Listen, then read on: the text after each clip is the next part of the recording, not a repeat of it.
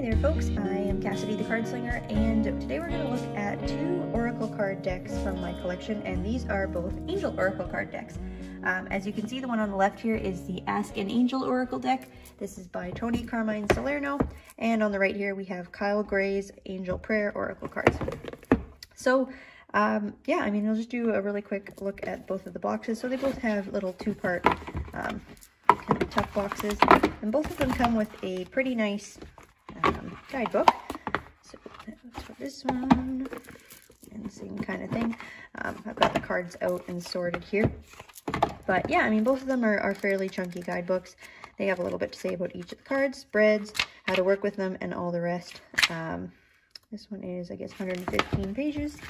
Uh, and this one here, you can see, um, is a little bit longer. So I guess one 124, including the back. Um, but yeah, so this will be a pretty quick video. Um, I am not an angel card reader. I don't offer angel card readings for clients, nor do I read angel cards for myself very often. But nevertheless, I do have these two decks. I am a huge fan of Toni Carmine Salerno's decks. I also have the um, Gaia Oracle. I just absolutely adore his artwork. As we go through the cards, I'm sure you'll be able to see why. Um, so what I've done here is I'm going to go through this is, you know, this is a deck comparison video. And the reason why I wanted to make this video is to show how the different artists' interpretations of the cards um, and for each of the angels. So they don't have all of the same cards, of course. So how it's going to be set up is the first half of the video, or the first chunk, I should say, will include, um, can kind of show it for an example here. We'll look at uh, when they've done the exact same angel in both of the cards and how they have chosen to do the interpretation. And then we'll look at some of the cards that aren't exactly completely the same, um, but you know, they both maybe say creativity or have a couple of similar words on them. And then we'll finish off just by looking at the rest of the cards so you can have a chance to see all of the deck or all of both of the decks. And yeah, um, I won't have a whole lot to say in this video. Like I said, I, I really don't consider myself an angel card reader, um, so I'm I'm not the best to totally speak on this topic, but I am a lover of all sorts of cards, so I do have a couple of these. And yeah, um, we'll just get started. So I'll do the um, angel prayers here on the left, and the ask an angel here, or sorry, angel prayers on the right, and the ask an angel on the left. I'll zoom in a little bit here. Okay. Uh, yeah, so let's let's start with the the um, cards that they have the same in each deck.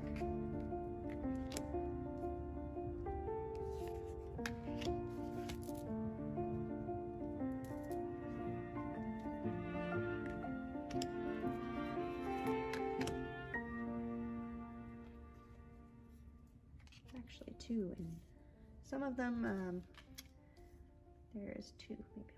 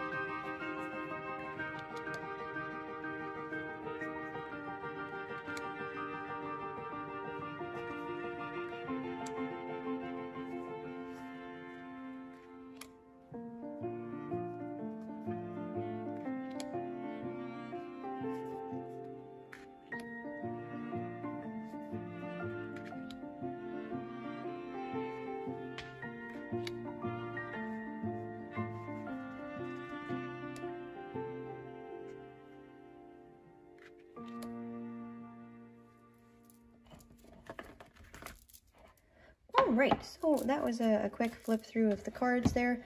Um, so yeah, I just had broken it up into ones that didn't really um, relate to each other, and then of course the the ones where the angels were in both. Um, there's actually quite a few there, as you saw, of the um, in the Ask an Angel where the they have particular angels that are duplicated, or there's a number, a couple of, of the cards.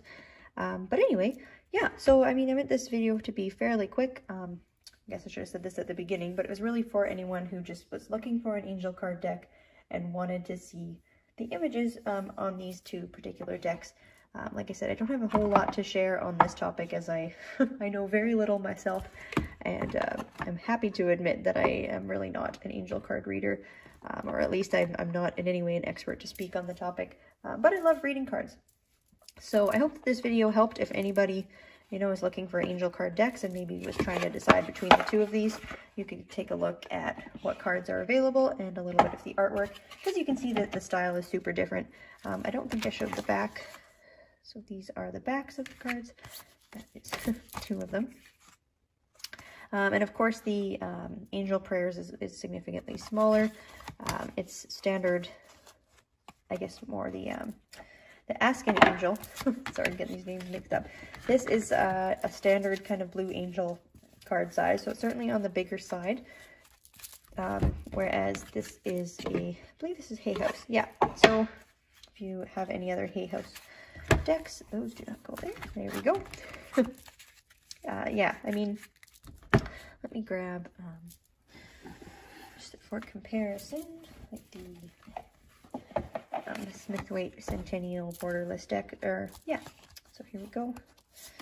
You can see, like, these are pretty, pretty substantial size cards, right? They're pretty big. Um, and then here, they're big as well. You know, often Oracle cards are, are quite a bit larger than the Tarot. So anyways, um, yeah, like I said, I wanted to just keep this video quite quick and just show off two of these angel card decks. Um, I think they're both really lovely. I appreciate the artwork in both of them.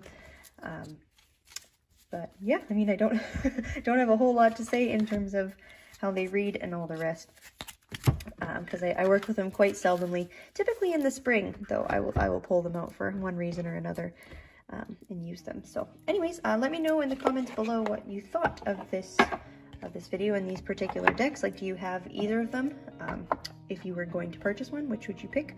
What kind of artwork style do you like? Um, this is, like I said, Toni Carmine Salerno. He has a ton of Oracle decks out, and to me, his artwork is just amazing. It's so, so, so dreamy, and I would like to get my hands on everything that he has created. I just adore the artwork that he has.